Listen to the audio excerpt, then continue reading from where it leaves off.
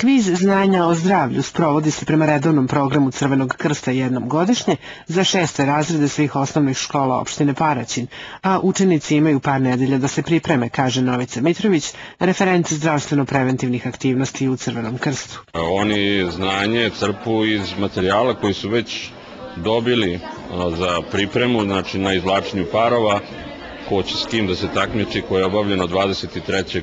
septembra, tad smo podelili materijal za učenje i od tog dana do današnjeg dana su oni imali vremena da se pripreme i da ovaj, se takmiče. Inače, e, u ovogodišnjem ciklusu takmičenja učestvuju 23 ekipe iz svih osam osnovne škola sa teritorije naše opštine, znači negde ukupno 138 takmičara u ovom delu, ali nisu nama samo takmičari oni koji se takmiču u kvizu znanja, već su nam takmičari i oni e, tu može da učestvuje i čitavo odelenje, znači oni koji pripremaju likovne radove na temu narkomanije i bolesti zavisnosti, oni koji pripremaju ovaj program kojim se odelenje predstavlja, tu su i njihovi roditelji koji ih propituju, njihovi nastavnici, ovaj, uprava škola i tako dalje. Tako da broj učesnika ovaj, je mnogostruko veći u, ovo, u odnosu na ovaj broj samih takmičara koji su direktno se takmiču u kvizu znanja. Na početku kviza ocenjivali su se crteži na temu bolesti zavisnosti, a ocene troje članova komisije predstavnika Crvenog krsta i odbora za prevenciju narkomanije sabirale su se u srednju važeću ocenu.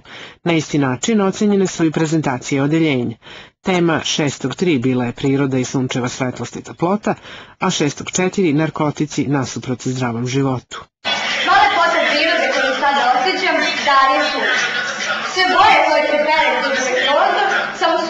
Ocije sunčeve svetlosti.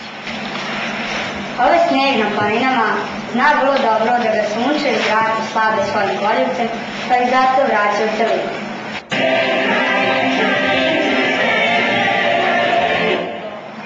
Vidite, volje drugih nije dovoljno da je sprečen da uradi ono što hoće. Koliko su stvarno, toliko želja nešto da je proba po svaku cenu. Nije svesna da je to može skroz uništiti